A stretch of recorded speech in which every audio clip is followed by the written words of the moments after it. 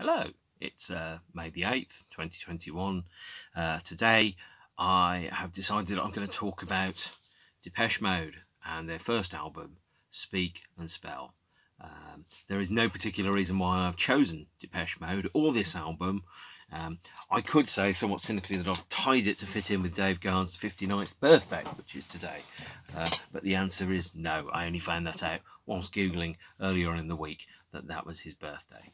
Um, and uh, I'm also um, aware that what I don't want to do is constantly hit you with the same videos about the same bands all the time and go, here's yet another one about, you know, and I've got like loads of bands that I'm talking about at the moment. Um, but you could go, well, it's either going to be The Cure or Pet Shop Boys or U2 or New Order or Suede or, you know, I'm going to mix it up a bit. Still have an old band, though, a band that formed 40 years ago, Depeche Mode. Um, but you know, as as these progress over time, I will get to more bands and more recent bands as well. By the way, um, and of course, one of the big signs of being old and out of touch is to say, "Oh, good music's out there. You just have to find it." So I'm definitely never ever going to say that. Actually, that's complete lie. Of course, I'm going to say it at some point. Um, I'm fast approaching, or in fact, I'm deep in the midst of my late 40s. To pretend that I am young and hip and how do you do, fellow kids, is a complete fib, of course. Um, I am not. Um, now, one of the other things I'm also going to talk about, and by the way, um, I have had a request to talk about the wedding presents. Um, that's quite a task. There's an awful lot of records to talk about when it comes to the wedding presents. Uh, rest assured, I will be doing those at some point in the future. Um, I listened to Tommy three times yesterday for my sins as part of research. Unsurprisingly, the first wedding present one I'm going to do is probably going to be about that album. So we need to go back in time um, to talk about Depeche Mode.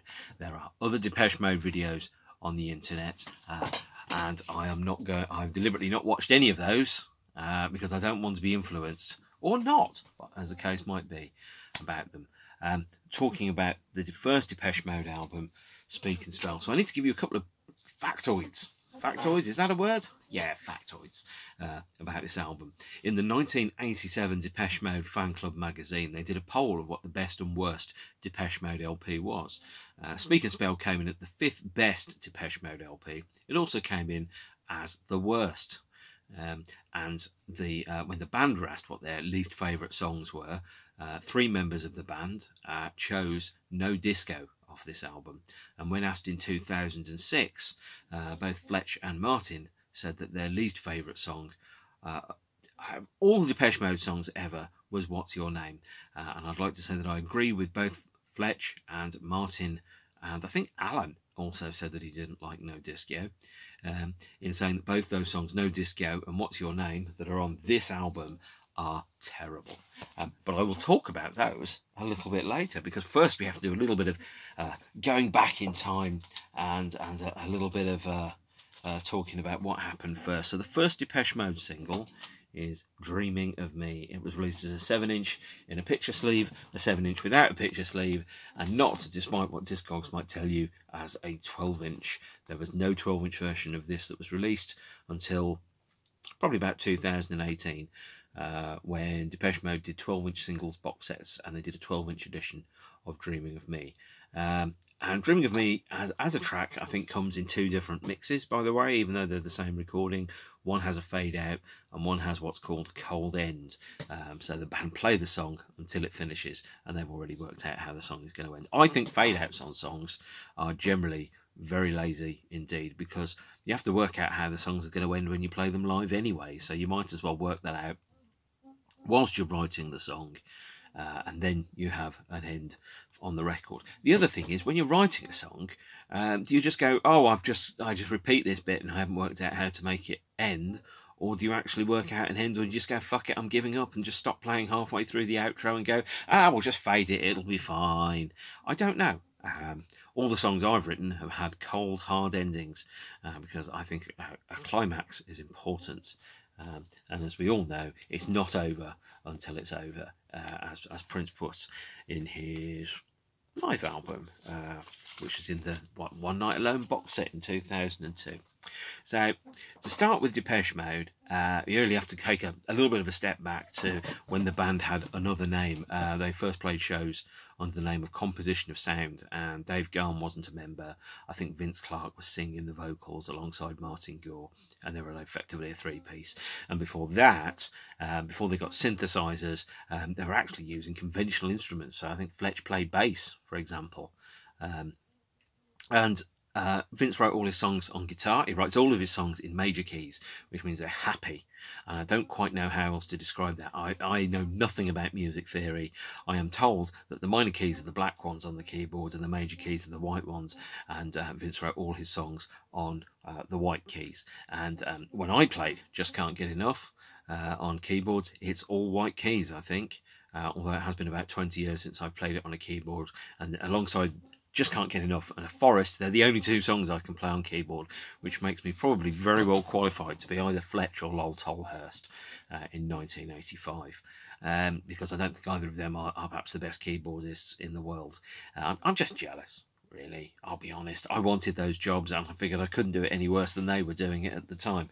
Um, so composition of sounds started playing shows i think in early 1980 uh, and i think maybe they played five or six shows uh, before they noticed a, a, chap called dave gahan um, who uh, they thought might be a good vocalist and i think his audition piece was to sing david bowie's heroes and when they heard him sing it they went okay you're a good singer and so Dave Gahan went to the last show before he joined the band where he operated the light desk. And then I think I think it's 14th of June 1980. He played his first show as a, as a member of Depeche Mode and as their vocalist. And I think it's around about that time that the band changed their name as well to Depeche Mode. And Depeche Mode, by the way, is a uh, if you're French, you already know this, so you can skip about the next 30 seconds. Is uh, based upon the name of a magazine called Fast Fashion, which in French is Depeche Mode, and uh, was published in France. And as far as I can work out, um, there has never been a discussion between the magazine and the band about the name. Um, it's kind of weird actually to think some of the records that the band have made um, have the name uh, uh, uh when translated for the French uh, is fast fashion. I can't think of some of those songs having anything to do with anything fast or with anything particularly fashionable actually, uh, but so be it. Um, the band had a, a lot of songs when they started off. As I said, Vince was writing all of his songs on guitar, he was writing them all in major keys. Uh, and effectively, I, I, kind of think of Depeche Mode as basically an electronic punk band. Um, so if you listen to the songs that they were writing, songs like New Life, Dreaming of Me, Just Can't Get Enough, Photographic, you could easily imagine them transposed to being played by a fast drummer and a dirty guitarist and a vocalist kind of yelling out the words as, as kind of like a, a kind of like Basildon rock version of Sham 69 or something, but without all the dodgy bits. And the the band, uh, you listen to the songwriting as well that there was in the first album, sounds a lot to me like the Ramones, short, sharp, punchy. The riffs are very kind of like, they're almost mo- uh, monotone in so much as there is just one note or one lead note at any particular time. There isn't a chord or anything like that that's going on.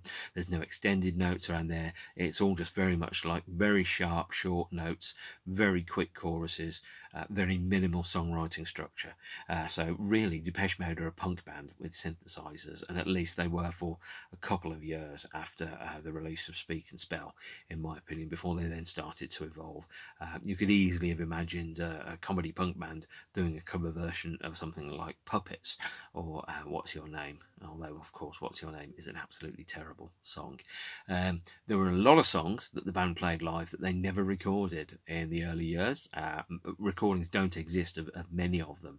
Uh, so there's a, a, song called Secrets and Sunday Morning, which they played on the 1980 tour. Both of those uh, have no existing recordings that anyone knows about. Um, there's a track called Mouldy Old Dough, which was a cover version of a band called Lieutenant Pigeon, whoever the hell they are. I'm going to have to listen to that, then try and imagine Depeche playing it and go, oh my god, that's awful.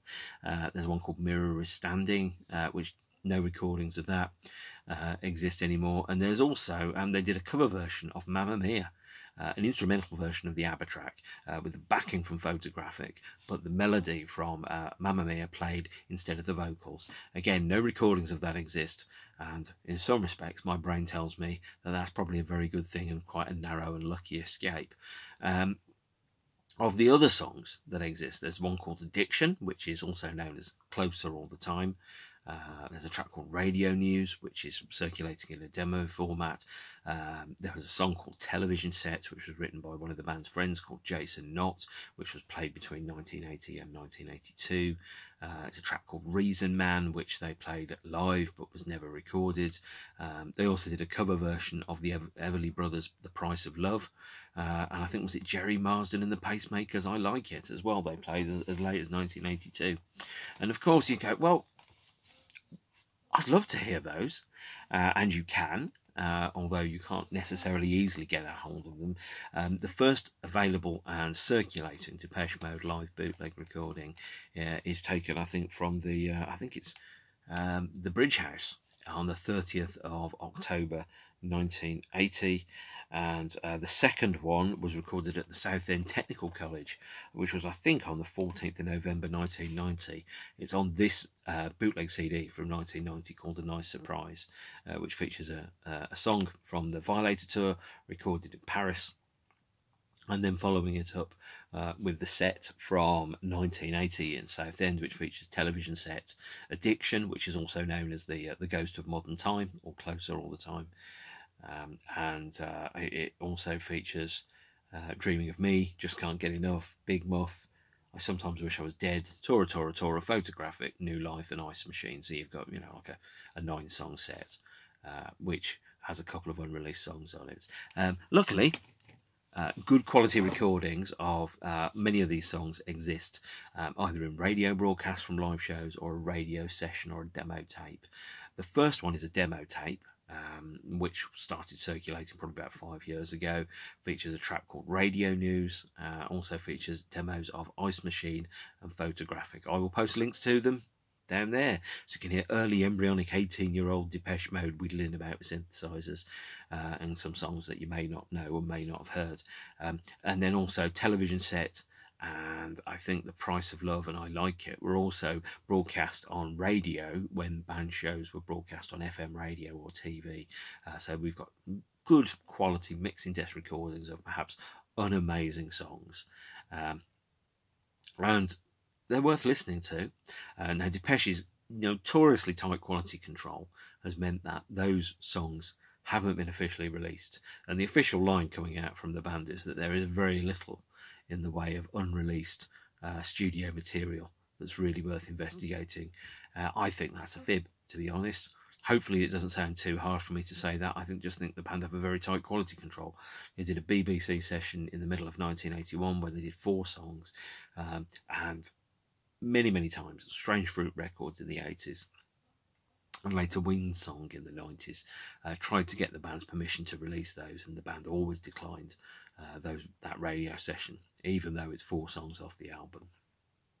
So you have to rely on bootleg recordings. And again, if I can find it on YouTube, I'll post a link to it in the comments section down there so you can listen to this early embryonic Depeche Mode when they're all about 18 uh, and uh, they're all kind of, you know, using their spare money from their day jobs um, to record. So the first single um, was released in, I think, February 1981 and it is called uh, Dreaming of Me. Here is the 7 inch copy of it.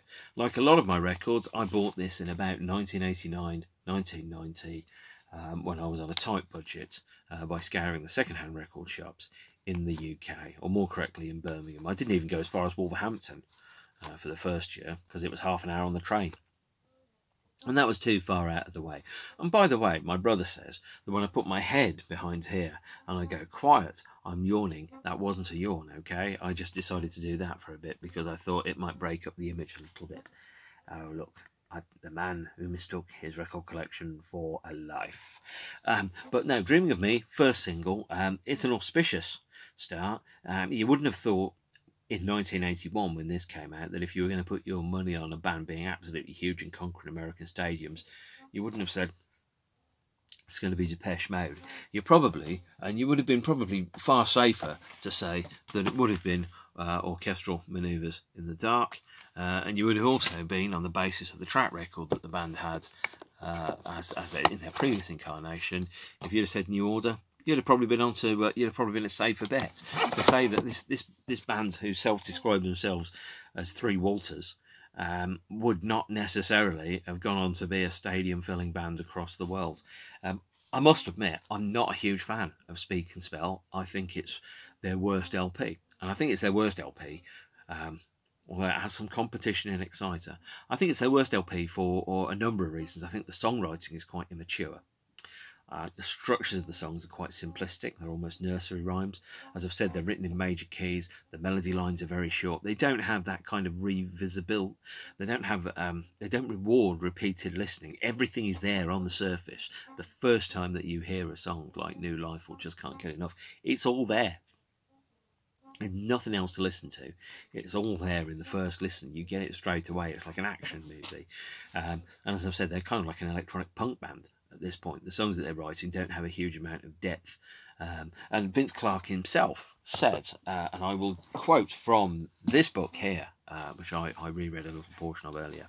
He said, um, Martin said, I never understood what Vince was writing about. Often the grammar was a mystery to me, let alone the meaning.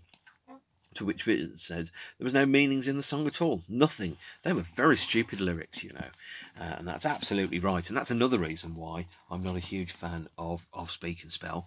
The words are gibberish. Um, but I think I will. I mean, actually, if you go for the words to uh, "Dreaming of Me," uh, which I've got up on the screen here, um, and we'll just we'll just quickly visit what those, those lyrics might might be, because uh, they're not very good at all. So, um, "Dreaming of Me" uh, has the lyric light switch man switch film was broken. Only then all the night fused tomorrow dancing with a distant friend. Um, filming and screening i picture the scene filming and screening dreaming of me. So we left understanding clean cut so we're sounding fast. Talked of sad i talked of war i laughed and climbed the rising cast. Quickly i remembered fused and saw a face before. Timing reason understanding like association hall.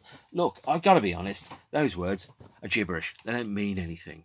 Uh, for all for all that I care, they could be in Hopelandic or um, Simlish or uh, any other language that I don't understand. It's kind of like at the end of Star Trek 4 when uh, they're talking about possibly communicating to the great big probe that's going to wipe out mankind. And they go, well, what do we say to it? I said, well, we, you know, we can, we can copy the sounds, but we'd end up it would sound like you're just coming out with gibberish, and you'd be going, yeah, boo, blah, boo, boo. Or, or like you know, if you if you backwards, if you take a speech file and you play it backwards, it sounds like someone is talking, but it doesn't sound like them actually talking. Um, you know, if you watch Twin Peaks, for example, um, and they've all the scenes where the walk backwards, and you go, well, that you know, that's that's English. I guess it kind of makes sense, but you could take the lyrics from "Dreaming of Me" and you could do them backwards in a Twin Twin Peaks voice, and you go, it still doesn't mean anymore. Light switch, man, switch, film was broken. Only then all the night fused. Tomorrow dancing with the distant friend and it's like it doesn't mean any more or any less they're just nonsense bullshit words and, and as you've probably worked out not only do i talk like I'm paid by the word. Words are really important to me, and language is really important, and being able to communicate ideas and concepts and imagery. Um, I've always seen that as one of the key things about art, and art being the ability for human beings to communicate ideas, concepts, feelings from one human being to another. You know, that's what we, I think art is there for. And so, therefore, some of the lyrics on these songs are not art, they're nonsense. You might as well be listening to Def Leppard, and Def Leppard choose their words by the way of what they sound as opposed to what they mean. Some of those songs don't have any meaning whatsoever. Something like Hysteria, for example, the whole of that album has no meaning lyrically uh, in any really tangible, meaningful way. The words and the, the songs are created, and then there's a section where the words have to fit in. And it's like, well, you've got 16 seconds and you've got 74 syllables. So what are you going to do? You go, uh, love is like a bomb and I couldn't get it on, living like a lover with a redaphone, sometime, anytime, sugar me sweet, come on baby, sugar me, hey yeah. And, you know, that's like pour some sugar on me, which is a great song. It sounds fantastic. The words, bullshit, they don't mean anything. You might as well be reading a shopping list. Um, or, for example, the lyrics to So What by The Cure, which are actually a shopping list. And if you pay now, then you can get, I don't know, some cake and decorating icing set for £1.39 by the 31st of December 1979 with a stamped addressed envelope. Terms and conditions apply. The words are rubbish to some of the early Depeche Mode songs, and that's why I don't like the album as much as I could do. And some of the songs are very, very simplistic and very straightforward. Dreaming of Me is not a great song. B side is Ice Machine. That bloody brilliant. Absolutely great. Should have been on the album. Ice Machine. I don't understand why it's not on the album at all. Ice Machine is one of the best B-sides I've ever heard by anybody ever. Um, of course, the B-side of your first single is normally going to be something that's pretty damn good, but the Ice Machine is, was a song that they played live right up until the end of the 1985 tour. It survived when the A-side was long, long gone, and uh, Ice Machine is a fantastic Depeche Mode track. If you don't know it, listen to it.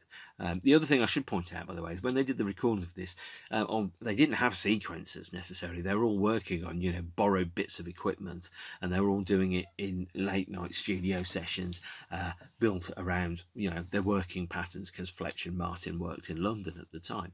Uh, Vince wrote the songs on a full time basis, and I think Dave was was falling out of art college. So those songs, when you hear them being on the record. It's not like someone set up a sequencer to play that same part 42 times. Some guy has played that part 42 times and somehow has got RSI off doing it.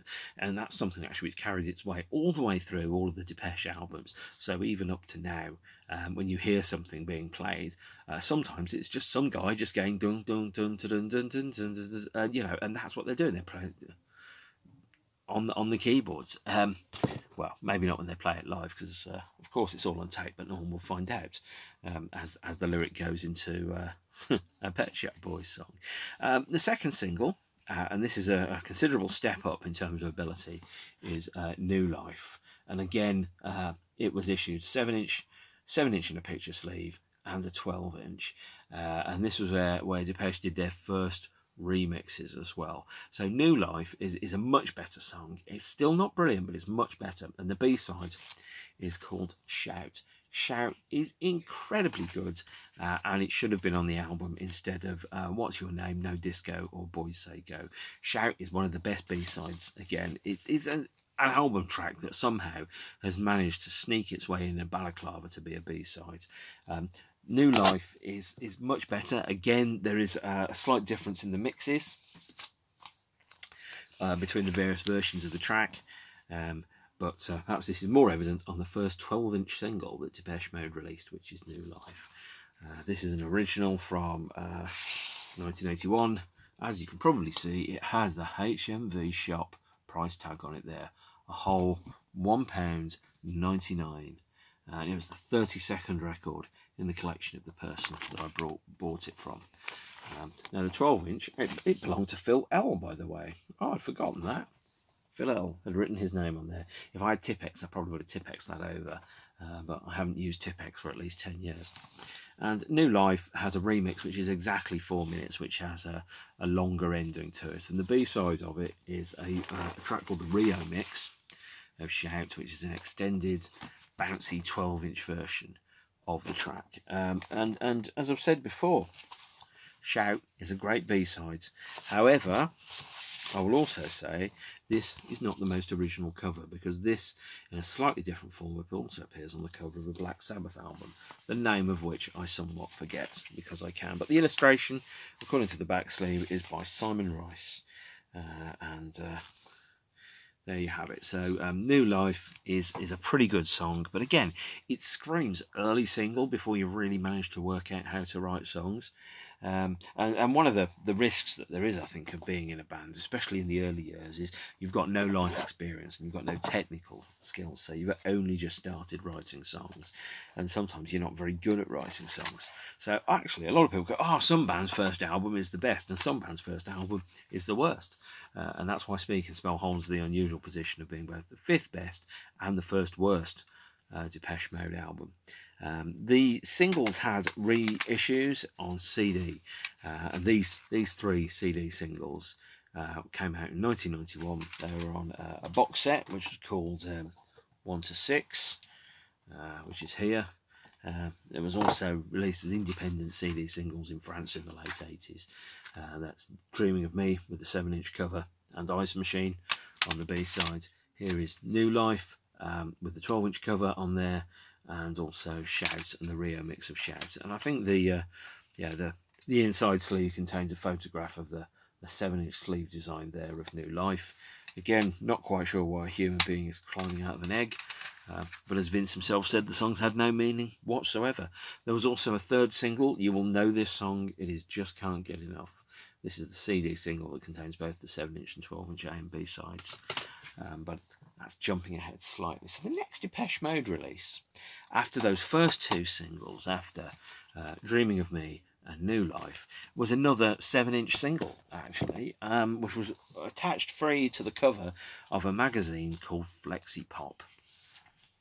And here it is. Uh, this is um, not the the repressing of the flexi disc, uh, but this is an original 1981 flexi disc.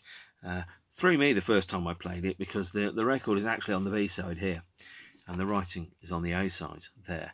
So what you end up having is, I, I, I hadn't thought about that. I just put this on and thought, okay, that'll be fine. Oh, I wonder why it's not playing a song. And the answer why it wasn't playing a song is all the songs were on the B side. Well, anyway, and that was so that the flexi disc, the B side, didn't get damaged in transit, by the way um, and and people didn't return it. Going this flexi does not play. It is broken. It is pining for the fjords. Um, and so that 7 inch contains uh, an exclusive recording of uh, I sometimes or sometimes I wish I was dead uh, which as Fletcher Martin were on holiday uh, was a recording by Vince Clarke playing all the instruments and um, Dave Gahan doing the vocal, um, which is a completely different recording to the version that's released on the Speak and Spell album. Um, and it's it's a very good track. It's not perhaps the best track ever, um, but it's an interesting alternate mix, and it's not been. It wasn't on. It wasn't on the reissue of Speak and Spell. So there was also another track which was released on a compilation album called Some Bizzare. Uh, and I don't have the Some Bizzare compilation album uh, because I am lazy, uh, to be honest. Um, but it was later added as a CD bonus track to the 1998 edition of the singles 81 to 85. That track is called Photographic.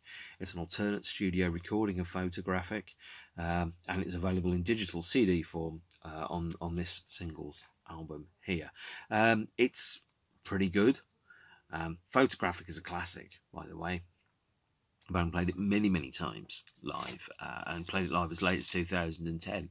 Um, so I, I, saw them play it, I think 2010 and I think 2006 as well, um, which means I've only seen two tra- tracks from uh, Speak and Spell played live. Now, the thing with Speak and Spell, um, which is the next thing I'm going to be talking about, and I probably should should bring it up to your attention because um, otherwise I'm going to break the chronology of this. The thing with Speak and Spell is it's not a great record. Um, I know I've been talking about it for 28 minutes and 5 seconds at this point, um, but it is not a great record at all. It's um, not the first batch of songs that the, the band wrote, but the second batch of songs that the band wrote. Most bands, when they're writing songs, the first six or seven songs don't come out on an album they tend to leave those, stick them on B sides, and then maybe the songs that are on the album they end up being like the 15th, 16th, 20th song, or if you're Guns N' Roses, they're the 120th song that you've written. Uh, and, and Speak and Spell was released in November 1981, not October, uh, with advance orders of 80,000 copies. Um, so the band were able to to really give up their day jobs and start as a proper band in, in earnest. Um, and it was preceded by a single, um, the first Depeche Mode single to chart, the first Depeche Mode single with a video, and the first Depeche Mode uh, single that they still play live, which is Just Can't Get Enough. Here's the, the 7 inch of it backed with um, a, a remix or uh, an instrumental version of a track called Any Second Now. And to me, Any Second Now sounds weird when Martin sings it. It should always be this version here, which is the instrumental. And uh, I have the sad memories of, of listening, of going to nightclubs in 1989, 1990. Uh, sometimes the, the more popular mainstream nightclubs, and they'd play this early in the night. Uh, and the DJ would always fade it out just after he sang Just Can't Get Enough and shout sex. Uh, because that's the kind of thing that nightclub DJs would do. They went full Alan Partridge indeed, uh, which is a shocking state of affairs. Um, it was pretty much only a matter of time before one of them shouted Jurassic Park and played Joe Jive Bunny or something. Um, yeah, so just can't get enough. There's a 7 inch, again, bought uh, when I was very much younger. And here's a 12 inch of Just Can't Get Enough. I'm guessing this is the 33rd 12 inch in Phil L's collection. Uh, and I'm also guessing that he's written his name on the label. So let, let's find out. And let's see what happens. So this is an original inner sleeve uh, from the early 80s. Can tell by the fact that it's ripped and torn. Um, no, has Phil written his name on that? Yes, he has. Brilliant. Should get my Tipp-Ex out. Uh, and that features the Schizo mix I Just Can't Get Enough, which is a long extended 12 inch version. Uh, the band often played the Schizo mix live, and uh, apparently an extended version of Any Second Now instrumental. Um, it also has uh, a different sleeve. Um, I'm not quite sure what the, the purpose of that sleeve is or what it's meant to signify. I don't think it's meant to signify anything, actually. And the, uh, the on the B side, you've got a tiny reproduction of the cover of the 7 inch there, which is a picture of a cat lying very, very contentedly on a, a rug. Uh, again, this is an original copy because the HMV price sticker puts it at the extortionate cost of £1.99. Uh, and I, I, I, don't even think you could buy anything in HMV for £1.99 anymore, uh, let alone a 12 inch single. These days, people will pay out 12 inch singles at probably 13 quid or something equally extortionate. 33rd record in Phil L's collection uh, but not in Phil L's collection anymore. Now the thing is, people used to write their names on the sleeves or on the on the on the label, so people wouldn't steal these records when they went and played them at parties. Um, I don't even know what parties are. Certainly haven't been to one for a very very long time indeed. Uh, and as I've said before, just can't get enough went into the charts and was followed up with this single, Speak and Spell. Uh, and the cover is exactly what you think it is. It is a swan covered in a plastic bag. It's an awful cover. The uh, 19, where is it now? I've put a copy somewhere. There's a 1988 uh, CD edition of it, which features bonus tracks that has that as the cover. That is so much better than this. Um, and for some reason, the band paid a thousand pounds for this cover. It's awful. The guy that did it should have paid them a thousand pounds. It's dreadful. It's a swan in a plastic bag sitting on what looks like a bunch of twigs. I can't tell actually if that's a black metal band logo or a bunch of twigs. I'm not sure. If it's a black metal band logo, it's really, really good. Um, but if it isn't, then it's just another pile of twigs. So this is a, a budget price version of Speak and Spell um, from the UK. Uh, with a barcode, so that's probably about late 80s or thereabouts. It's still in its shrink wrap, uh, although obviously I broke the shrink wrap in order to play the audio goodies inside, and I was not pleased listening to this. I should point out, by the way, that if if this was the only record the band had made, I wouldn't own it. I wouldn't like it. I wouldn't own. Uh, just can't get enough. I wouldn't own any of these records if this was the only album the band had played. Because if I'd just gone and listened to this, I'd have been like, "This isn't very good." No, I'd own it now, and I'd own it now by virtue of the fact that I really like Vince Clarke's work in Erasure and Yazoo. I think he's a genius. Uh, and I would have, well, I wanted to listen to the early stuff he did beforehand. So I would have got the assembly and I would have got this. But I wouldn't have loved it. I wouldn't have listened to it loads. I would have gone, well, whatever happened to those guys? And then, you know, Depeche would have had a, a certain career playing a half hour set at a Sounds of the 80s mid afternoon show at Butlins or something. I'm, I'm not sure. I'm playing Speak and Spell in four. uh, with associated B sides, something like that. And I inevitably would have seen them at some point. Uh, but I would have been like, oh my God, man, what's happened? They've all gone bald. I know I'm a fat one to talk when it comes to criticising people about hairstyles, but there you are. Um, so Speak and Spell is the worst Depeche Mode LP. The second worst Depeche Mode LP is Exciter, which is also tragically misnamed and should have been called Bora, but it isn't. Uh, so eh, this one, Speak and Spell, has some really terrible tracks on it. Um, so the, the track list is New Life, which we've already got slightly different alternate mix on the LP. Uh, the full band recording version of I Sometimes Wish I Was Dead, which is not the version that's on the flexi disc. Uh, then there's Puppets. Then there's the three worst Depeche Mode songs that have ever been recorded. Uh, Boys Say Go, No Disco, and What's Your Name. Now, if I was making the LP, those songs, B-sides. And uh, on the instead of those, I put Ice Machine, Shout, and Dreaming of Me on the LP. Um, but since I'm not in charge, if you buy Speak and Spell, you have to listen to Boys Say Go, which is awful. Uh, no Disco, which is still regarded by Fletcher and Martin as the worst Depeche Mode song of all time. Um, uh, and What's Your Name, which actually uh, replaced No Disco in 2006. What's Your Name is garbage. I would be much happier if that song had never been released. Um, because the chorus goes, Hey, you're such a pretty boy. You're, hey, you're such a pretty boy. Hey, you're such a pretty boy. You're so pretty. And I'm like, Oh my God, really? That's what you're doing? The words are awful. They make the rest of the song worse. It would be better as an instrumental. Um, What's Your Name is a pile of shit. And uh, I hate that song. It is the worst Depeche Mode song. No Disco is the second worst Depeche Mode song. Yes, Pimp is better than No Disco. And Boys Say Go is the third worst Depeche Mode song, which means that, yes, Zenstation, the B side of, uh, I think, Free Love, um, is better still than that. Side 2, All Killer No Filler though. Photographic gets a re recorded version uh, Tora Tora Tora, Martin's first big co-write, uh, his first first song based on the, um, the, the, Pearl Harbor bombings of 1941 uh, is on there. We've got Big Muff, which is an instrumental named after a guitar pedal. Uh, then we've got a vocal version of Any Second Now that Martin sings on. And then we've got Just Can't Get Enough. And the credits to this just go as far as saying Synthetics and Voices by Depeche Mode, um, which is a, a very Kraftwerkian thing to say. It's just, you know, music art, data mix, Kraftwerk. Um, it's, uh, yeah, it's my least favourite Depeche Mode album. If it was the only album they ever made, I would known it.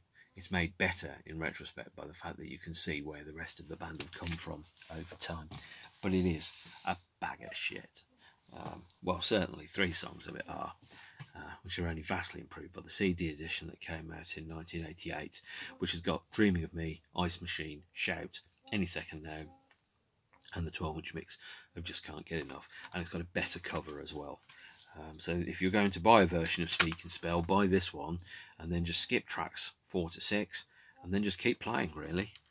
Um, there was, uh, in 2006, I think as I've mentioned before, the band did a, a major bit of retrospective activity uh, and they released C super audio CDs and DVD editions of their albums with 5.1 mixes on.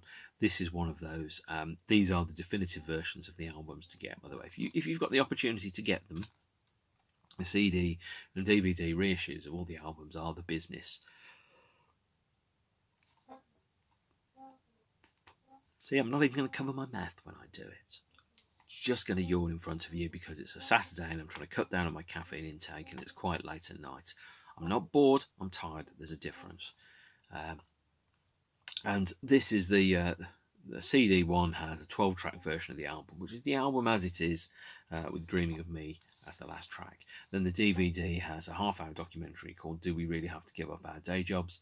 Uh, then it's got the 12 tracks from the LP in 5.1 mixes, and it's also got, let me have a look, 5.1 mixes of uh, the Ice Machine Shout Any Second Now and the remix of Just Can't Get Enough. Now, those 5.1 mixes were recompiled over the preset period of 12 months, roughly a month per album, around about mid 2005 to mid 2006. Uh, the band's studio engineers went back and recreated the songs using the original master tapes. And where the original master tapes couldn't be found, occasionally they used uh, live backups of them. So the mixes and the performances are ever so slightly different on some of the songs on the 5.1 mixes, uh, but not in any way so that you would notice. The intention is to recreate the original experience and feel.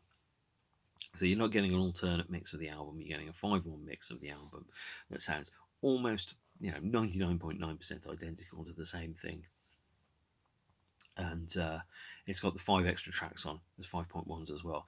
The promo videos for this album are on the um, the videos DVD. The video is awful, and I would not recommend spending any time watching it. Uh, certainly at this point in time, uh, Depeche Mode looked like um, they had uh, just taken the best clothes that they had out of their wardrobe at that time that they were going to wear out on a Saturday night and put them on and wore them for the video. And the other thing I should say is actually, as an album, Speak and Spell is, is probably ideally designed to be listened to while crimping your hair before you go down to the local goth club in 1982. Uh, it's not designed to be listened to in 2021, 40 years later. Nobody was thinking that far ahead in the future at all. In no way, shape, or form was anybody thinking that far ahead. Um, and I doubt people now are thinking, well, what's this music going to sound like in 2061? I have no clue. You know, that's 40 years away. Um, but I guess we'll find out when we get there. So if you're going to buy a version of the album, go, go the 5.1 mix on the DVD and the Super Audio CD. That's not all. There was a greatest hits album, of course, which I've mentioned before, the singles 81 to 85, uh, which has the singles on.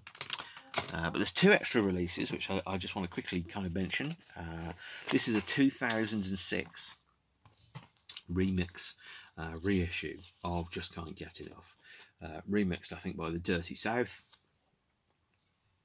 Uh, this wasn't. This mix has not been given a commercial release. Uh, it was put out as a promotional 12-inch, uh, back to the remix of "Personal Jesus" by Timo Maas, and um, it's designed just really for club play. I have no idea why why that why it went in a remix, but this is the only remix of "Just Can't Get Enough" uh, that exists after 1981. It's not particularly good, mind you. And the remix promo I've got here has a press sheet uh, asking me to, to fill in um, a reaction on the website as to whether it's getting club play. Presumably for the 2006 Best Of album, they were debating releasing a series of remixes of Just Can't Get Enough, uh, but I think this is the only one that came out. And the last thing I will mention um, is this CD here. Uh, recorded at the Royal Albert Hall in 2010. Uh, this features um, a very rare performance of Photographic uh, by the band. They played it a handful of times in, I think, 2006 uh, and definitely in 2007. Um, and this was the, the show where they brought it back uh, without, you know, it was a complete surprise to everyone. In fact, when you listen to this CD, um, after this song, I think you can hear somebody in the crowd go, What was that? Um, so that kind of proves just how rare that song was. I think it had been played very, very rarely indeed. Now, I'm going to quickly check, because I should have done this before, I'm going to quickly check uh, the uh, the wireless show uh, at the, the London Hyde Park. There, find out if they played photographic there. I'm not sure if they did. And the answer is yes, they did. They played photographic at the wireless show. Hyde Park in 2006 uh, and also at the Royal Albert Hall in 2010. Uh, but it's a very rare groove indeed, uh, very rarely appears. Now that's me talking about Depeche Mode Speak and Spell. Um, I haven't meant to try to put you off it or anything like that at all. Um, if you're looking for a fantastic early Vince Clarke album, this is it. Pop classics all the way through. It's just Depeche Mode are very good at what they do at this point already, uh, but what they do isn't always very good for me. I think probably there's about half a really, really good LP, in my opinion. There, there's the three worst songs Depeche have ever released on here, uh, and there's a couple of okay tracks on there as well. What I would say is, if you like Depeche Mode, um, it's well worth a listen if you haven't heard it. But do track down the B sides, Ice Machine, uh, Shout, and the uh, the single Dreaming of Me, uh, because they're great songs and they should have been on the LP, they weren't. I'm also going to post, by the way, as a wrap up, uh, links to some of the, the radio recordings and TV broadcasts down there. There's plenty of TV broadcasts and radio recordings from this era, so you can hear live Depeche. Um, there's a show at, uh, I think, Crocs in Rayleigh. Uh, there's a TV broadcast of something else. Uh, the last show with Vince, which is at Chichester.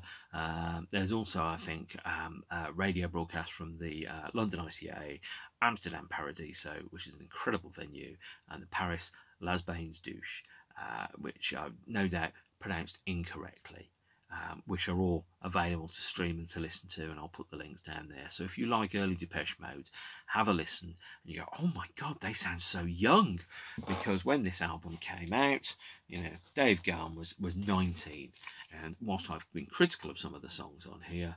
Um, I guarantee you, I couldn't have written a song as good as "Just Can't Get Enough" when I was 19. Um, I couldn't have written. I could have written a better lyric than than pretty much anything that's on here at the age of nineteen. But I couldn't write a song as good as I sometimes wish I was dead, or puppets, or new life. Absolutely not. Uh, you know, it, it, Vince Clarke came straight out of the gates, writing classic, memorable, hooky songs in major keys. Um, right from the off, and I still stand by my view that you Speak and Spell is one of the best punk albums that has been released. It just happens to have been played on synthesizers um, and it has not aged um, particularly well. But then a great many things haven't aged particularly well, including James Bond films and some of my haircuts. Yes, I had hair. So I'm going to wrap up here. Uh, stay beautiful. Say nice things in the comments. If you've got nothing nice to say, don't say anything anyway. Uh, I've recently seen a couple of comments, I think, on the Cures Facebook page because it's 25 years since Wild Mood Swings came out. And people going, it's all been rubbish ever since Wish. And you well, just fuck off back to the past. I live in the now. Um, and whilst I've been critical of Speak and Spell, at the time it was probably an amazing LP. But at the time, I was eight years old when it came out. And the reason it came out in November and not earlier was because the pressing plants couldn't keep up with the demand for the huge number of advance orders. Uh, the band's future seemed assured. The next time I talk about Depeche Mode, I'll be talking about their second difficult album, A Broken Frame. And in the meantime, stay beautiful, and I will see you all again soon. Thank you and good night or goodbye.